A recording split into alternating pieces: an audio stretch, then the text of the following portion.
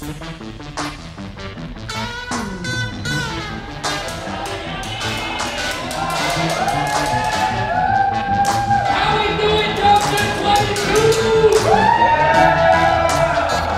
walking down by the Riverwalk today. I see this guy. He's got the like the tank top on, the gold grills. He's like, "What up, bruh?" You know, you, you know what I'm talking about, right? And he comes up to me. He goes, "Bruh, what's up with them kicks?" And I was like, "What's up with them?" I like them. But he got like all in my space. And I'm like, first of all, six feet. Come on. It's a pandemic. But then you're gonna come up to me and like ask me about my shoes, and now I feel threatened. I know I look tough, that's a joke. Um, but I, I try, right? I try to front like I'm not, you know, I'm from Brooklyn, I gotta represent. But then I have this like inner complex where I'm like, I know I'm a bitch. Like I can run, I'll run. I'll, I'll knock down my girlfriend if we're in this situation. She better be able to recover, you know what I mean? Because I'm out. For real. And coming down to the valley was a real culture shock for me. It was really like a shock.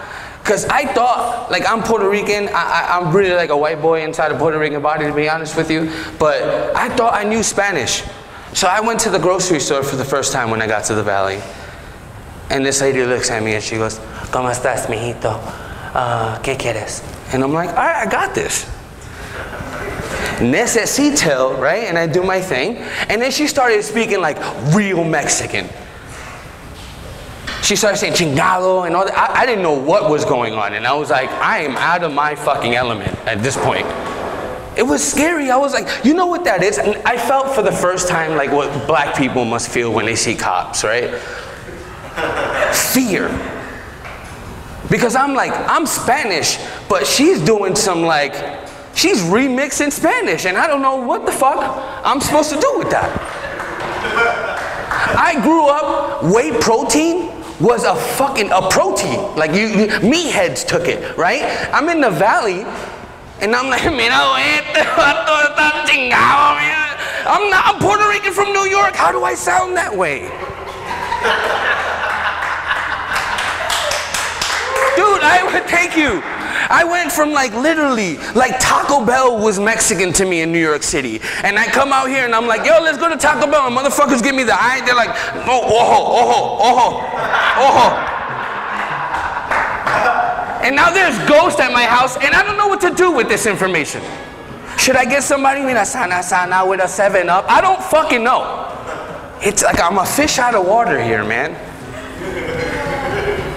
But Jacob mentioned earlier that there's a couple potheads in here, and I love it. I love smoking weed, man.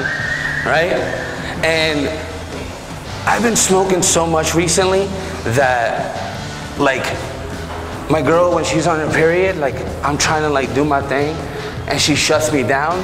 So then I'm like, I know I'm not getting pussy, but then because I'm high as shit, like, I start narrating in my head like I'm David Attenborough. And I'm like, the young stallion settles into bed the lioness wants none of him. What is he to do?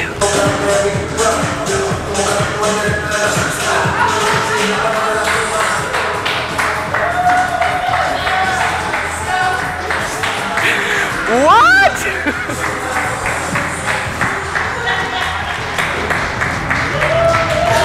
Give it up for Jokesters, everybody! Anyway, guys, thank you for your time. My name is Junior Hernandez. Give it up for yourselves. Give it up for your